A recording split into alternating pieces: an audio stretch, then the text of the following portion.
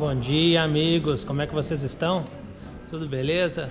Agora a gente vai começar a instalar o teto vinil no Opala Azul que o pessoal tanto pergunta. Vamos lá?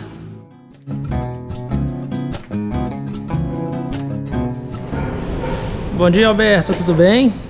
Bom dia, Arone. Vamos dar início à instalação do teto vinil desse Opala 78? Vamos lá. Senão o pessoal vai achar que virou novela, que a gente está enrolando. Isso aí, gente. Esse carro ficou um mês na elétrica. Fez todo o trabalho e agora que ele liberou, chegou para mim sexta-feira. E hoje, quarta-feira, a gente já está instalando o teto. Gente, o dono decidiu colocar o teto por inteiro, né, ele completo, até na frente, não queria meio teto vinil. Eu, particularmente de gosto, eu gosto desse completo. Eu acho mais bonito. Sou suspeito de falar, porque meu carro tem também. E Alberto, se eu quiser comprar essa, esse teto vinil na sua mão e quiser instalar em casa, eu vou conseguir?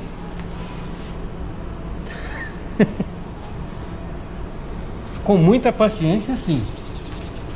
É muito Mas- trabalho. Tem uma série de coisas. Desmontar muita coisa. Tem, né? Gente, Desmontar o teto interno. Não, tem que fazer tudo, né? Tem que comprar os, os, os frisos, tem que furar. É muita coisa que eu não sei se vale a pena passar esse aperto ainda tendo risco de ficar uma porcaria. Traduzindo, É, paga, pro profissional. Exatamente. Gente, tecido assim de primeiríssima qualidade. Ele é bem grosso. Isso aqui é pra durar resto da vida, né? Não não pode durar 20 anos, 30 anos, É, não. porque depois dele todo colado, ele não tem resistência, não tem. Tem nada, né? Tem nada a não ser ponta de ferramenta ponte aguda. É, aí nem. Aí não existe quem não aguente. Mas ótimo. Vou mostrar alguns, algumas etapas e a gente vai acompanhando ao longo do dia. Agora a gente está iniciando a remoção do Opala 78 e vamos ver como é que tá. Aí parece que tá removendo o Opala 78. Você não mandou jatear não?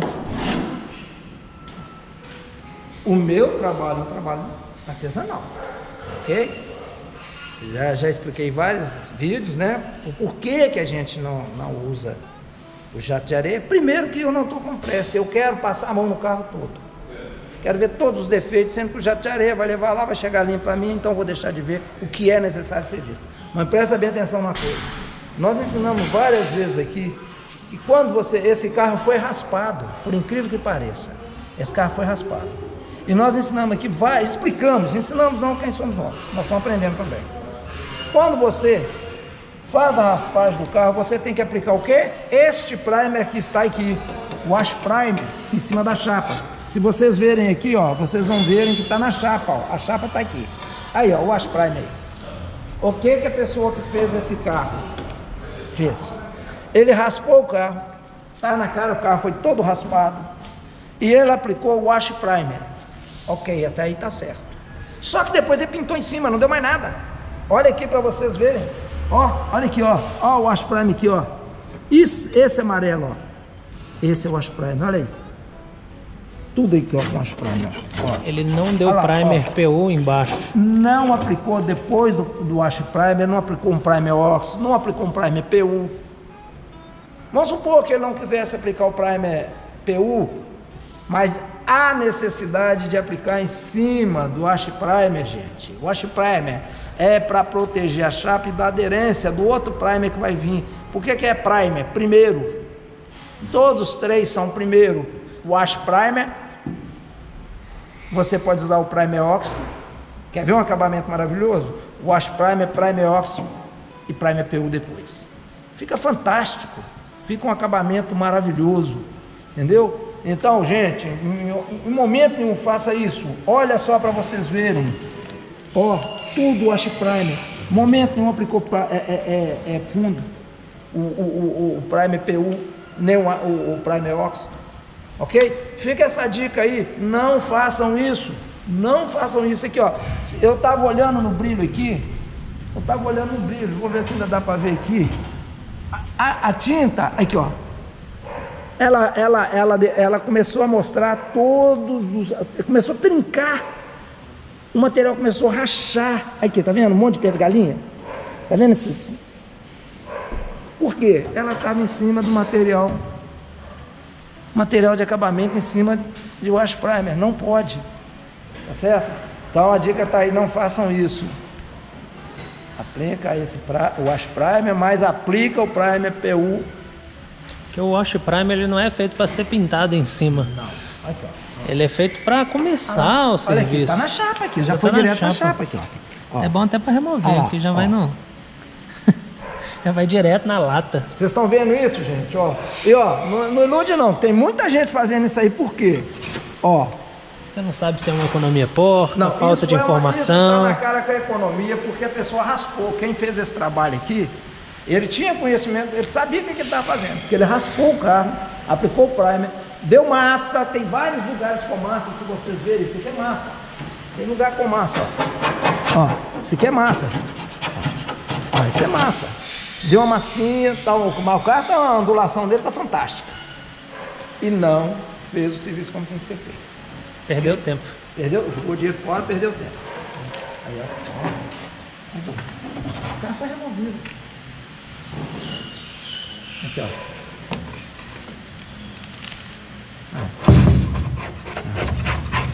Direto no Primerox. Direto. Tudo, tudo em cima do painel. Primerox não. Wash Primer. Wash primer e deu massa também. Ele tem lugar aqui que deu massa.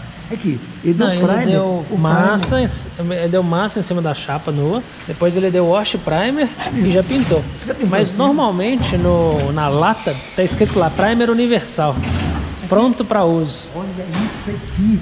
Totalmente em cima da lata. Aqui deu uma, uma folhinha, ó. Ó. Ó. Esse tipo de serviço é, é complicado. Tem que ter cuidado. Tem que ter cuidado. E aqui a gente usa o removedor da Wanda.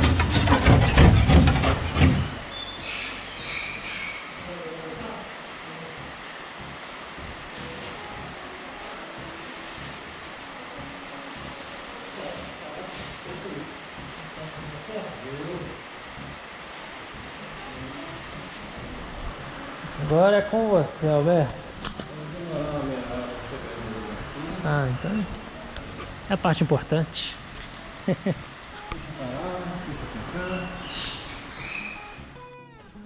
o Alberto passou a cola aqui no teto.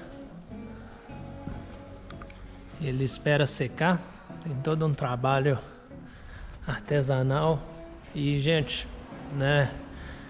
Não é porque eu faço serviço com ele, não, mas ele é muito fera. É um cara muito talentoso, detalhista conhece o que faz e a gente fica super satisfeito com o serviço dele. Eu- não, tô doido para ver esse carro pronto e o dono então nem se fale.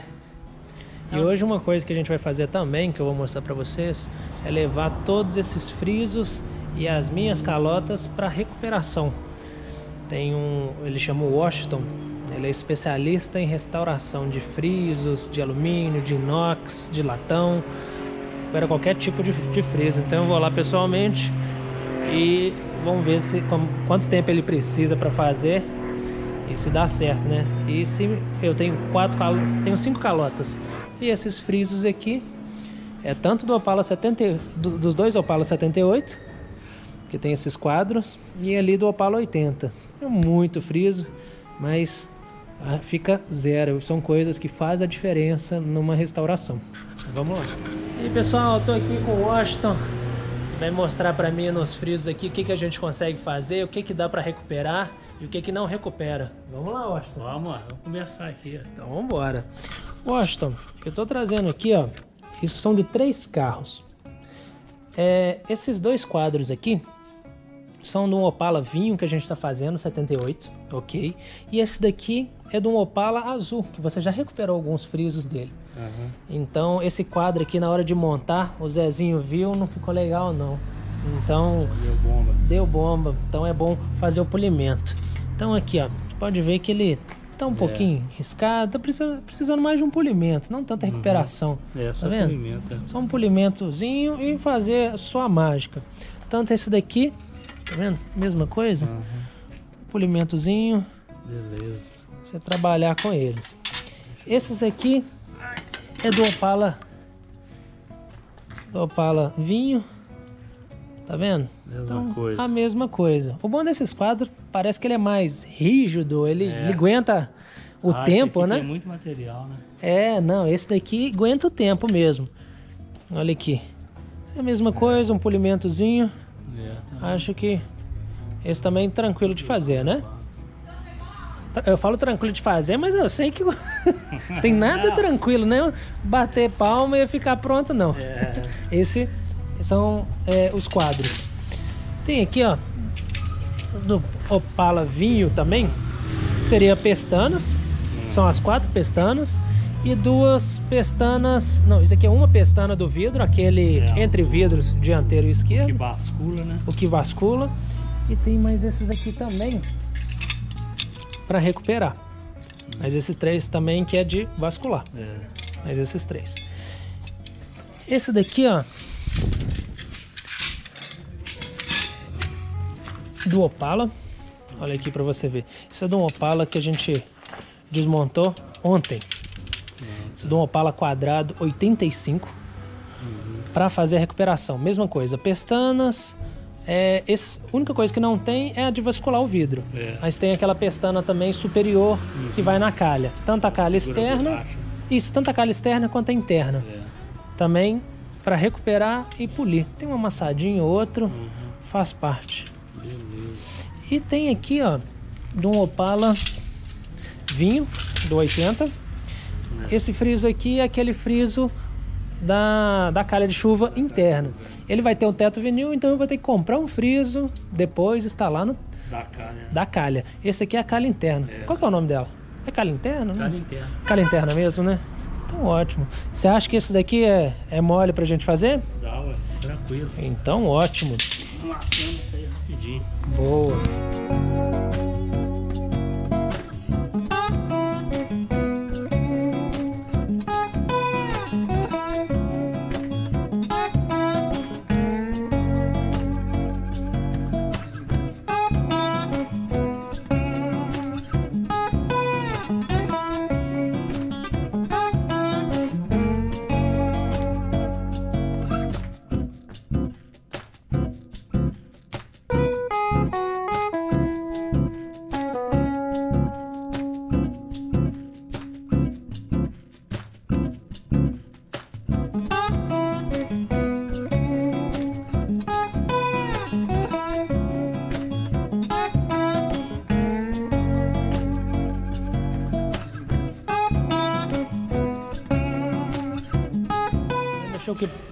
Pra, pra colocar no cavalete. Já montar, né? De montar os faróis, os de bronze, todas as peças, para-choque. O dono tá doido pra buscar. Eu tô doido de entregar. Alberto. Colocando o plástico aqui antes de instalar o forro. Sim. Vou colocar. Ah, colocou aqui dentro também. Que essas aberturas é próprio pro plástico mesmo, né? A água, se a água pular pra cá, ela escorre e joga pra dentro. Muito legal. Uma coisa simples que faz uma diferença, né? Por isso que você vê tanto forro enjambrado, Empenado. empenado. E aí, Alberto, já acabou? Sim, a parte principal sim. Finalizou? Costura reta, reta, reta que dá, ó, até dó. Ficou boa demais. Espero que o cliente fique muito satisfeito. Olha só. Olha o tanto que ficou bonito, pai. Tira esse, passa comigo. Tio não, eu faço outro. Cara, esse aqui ficou bom demais. Você fez o nosso já fez, não? Tem, Aqui? tem. Aqui? Eu também quero. Olha isso. Ó, ficou muito bom. Eu só passei pra passar na mão de Olha, ô, ô, né, ô, velho, Olha isso. você é mês. Eu sei como espátula, você pode o quê? Plástico? PVC. Tem, tem de Eu todas tenho. as. Eu já tava pensando, imaginando que a Olha isso. Esse escuta aqui, é, você colocou aqui. Ah, lindo, Onde é que lindo. tá meus buracos? Eu tenho que botar o freezer aqui. Vou botar o freezer aqui agora. Né? Porque você coloca o friso, você que corta. Pode ser. É ele que corta, eu Não, eu você que corta. Ele corta. Depois, corta agora, não diferença. Não o vidro ainda. Quer com freezer ou não quer, cacete? Calma, se não pôs o vidro aqui ainda, então não precisa esquentar a cabeça em cortar isso aqui. Não, Deixa... perguntei se você quer que eu ponha freezer. Ah, não. Se souber colocar, você vai. Você quer que ponha de uma vez? Não necessariamente agora. Ah, não precisa não? Nossa, mas mata. Tá vendo que eu falei? Não adianta encher o material. Ah, não precisa material, é. Aí, ó. Ai. Vê se colou bem. Ficou bom. Não. Só você não tem noção. Olha isso. Carro azul com tetão vinil. Pessoal, para vocês que conhecem a oficina, sabem que a gente não trabalha com a parte mecânica aqui dentro. E é terceirizada. Mas eu acabo ajudando o cliente a conseguir administrar essa parte da mecânica. Eu contrato uma pessoa terceirizada de confiança nossa e vou ajudando o cliente a fazer todo esse trabalho. Exemplo, eu ajudo a mostrar ele aonde tem peça, mando link, a gente conversa, discute, compre uma loja aqui em Belo Horizonte para que ele consiga terminar o carro, que ele não fique agarrado, pulando de mecânico em mecânico, até em capoteiro, capoteira, elétrica. Então a gente acaba ajudando o cliente nessa parte. E uma das coisas que eu prezo é ficar sempre dentro da originalidade. A gente não gosta de adaptação. Sim, em último caso, se o cliente quiser e tudo, mas a gente gosta de ficar dentro do original ou se a peça não é original, porque hoje não fabrica, né? Vamos colocar, a gente está arrumando um Fusca 69, a Volkswagen não trabalha mais com essa peça. Ah, o que, que a gente faz? A gente compra da marca similar ao original. Exemplo, uma TRW, uma Vargas, que são é, recomendadas pela fábrica antigamente e tem algumas peças que fabrica hoje ou estoque antigo. E eu vou mostrar para vocês aqui do Fusca 69, um azul claro, um Fusca azul claro que a gente está restaurando. Eu comprei a caixa de direção nova da TRW, então assim, zero quilômetro, não é remanufaturada. É, eu indico colocar nova, né, se puder, se a pessoa tiver condição, é lógico, né, porque senão não tem como. É, para não ter problema de folga, poxa, o cliente vai rodar pouquíssimo no carro. Assim, vamos colocar no ano, ele vai rodar mil quilômetros, se for muito. Então, assim, vai durar bastante. Se a gente colocar remanufaturado, o perigo de ficar pior do que, isso, que aqui está no veículo é altíssimo. Então, o que, que a gente faz? A gente compra uma nova e instala. Não tem muita dor de cabeça. Outra coisa, a gente faz algumas atualizações. Exemplo, esse Fusca, a gente vai colocar a marcha da EMP, né, que é essa daí que vocês estão vendo. E a gente vai colocar também o acoplamento do câmbio, olha que bacana, esse acoplamento. E tem um acoplamento também na direção, que é esse aqui. Olha que top. A gente vai instalar ele, vai ficar assim sensacional. E a gente colocou também esse roller que o cliente forneceu. Como ele, ele chegou uma hora até de desistir de colocar, a gente convenceu em deixar porque todo mundo fala muito bem. Por que não colocar? Então a gente colocou esse roller e aqui com a direção. Então o carro vai ficar confortável na medida do possível. É um Fusca. Infelizmente ele é um pouco mais duro, ele bate algumas coisas, é um pouco desconfortável, porque, poxa, é um projeto de 1960, 50. Não, dá para comparar com os carros que a gente tem hoje em 2019. Mas para quem está acostumado, poxa, isso aqui é, vai virar uma, uma BMW, entendeu? Vai ficar sensacional. Então a gente está tentando fazer o melhor no carro do cliente com a atualização que tem hoje. Já o, o, o Fusca preto que vocês viram, né, do paralama largado, que é mais fácil. O projeto dele é um carro para ser preto, tá? Ele ainda tá branco, é esse aqui da estrutura virado. Ele vai ser com a suspensão da Imor, que é uma suspensão assim, não tem nem, nem palavras para descrever, porque ficou top de linha. A suspensão traseira também, que é a Lady Bar. Na frente está com a direção de palio que vem já da Imor. Então, poxa, é, são umas atualizações que quando o cliente tem condição de já fazer, fica de outro mundo. E se não tem a condição de comprar toda essa suspensão, compra pelo menos algumas peças novas similar, igual a gente está colocando nesse Fusca 69, seja de uma marca Vargas, da TRW, marcas boas, para você não ter problema. Tenta sair um pouco da remanufaturado para você não perder uma direção e tudo, porque o carro ele já não tem a segurança que, que a gente precisa. Infelizmente, né? O carro não tem um ABS, não tem um airbag, não tem uma direção hidráulica, né? às vezes não tem nem disco, igual esse caso, mas a gente tenta atualizar com o que tem de melhor no mercado. O, o Fusca tem assim N, N peças que dá para você trocar, fica muito bom e poxa, vale a pena, seu carro merece. Vai jogar